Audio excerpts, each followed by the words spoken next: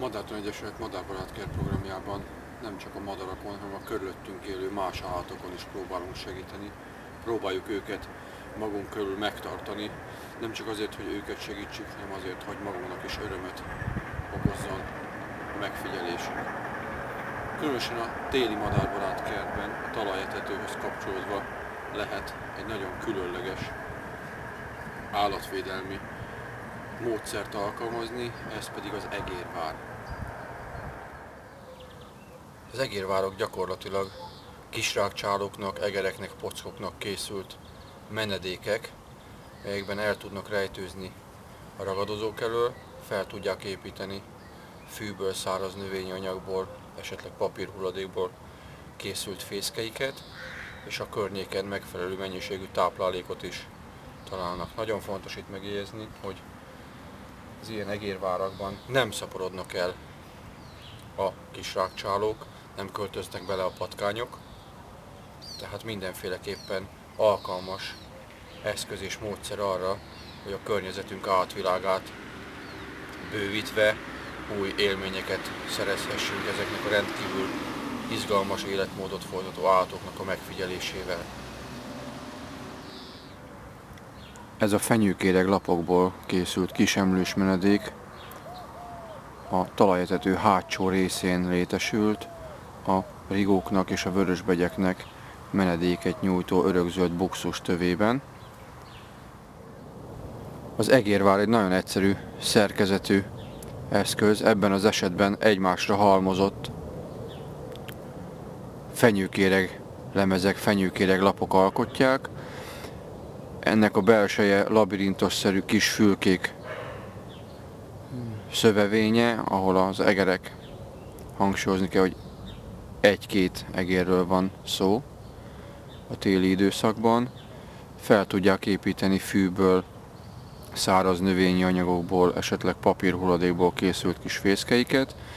Ez természetesen nem ázik be, ez a kis egérvárhalom. Erről gondoskodik a fenyőkéreg, és az etetőre járva ez a kis állat megtalálja a mindennapi táplálékát is. Ez az egérvár egy évek óta működő talajetetőn létesült.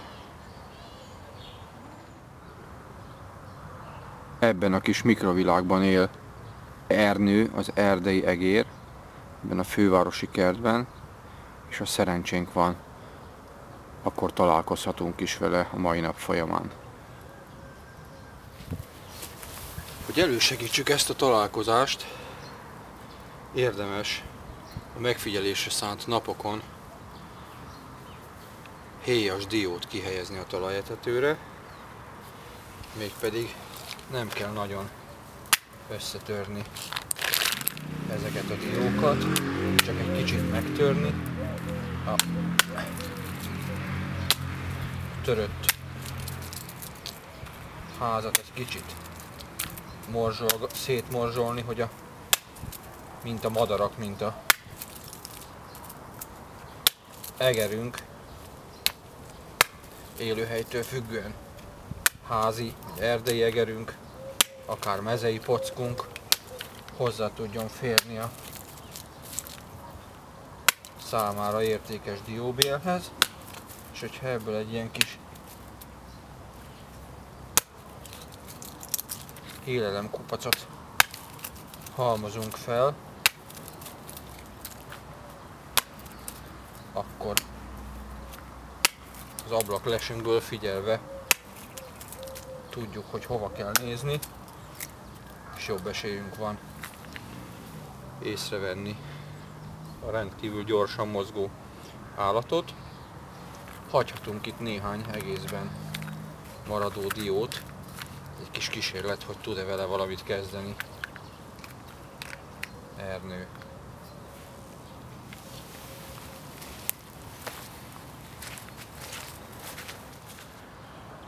Így néz ki a talajetetőre kihelyezett a madaraknak, itt elsősorban a cinegékre kell gondolni és a vörösbegyre.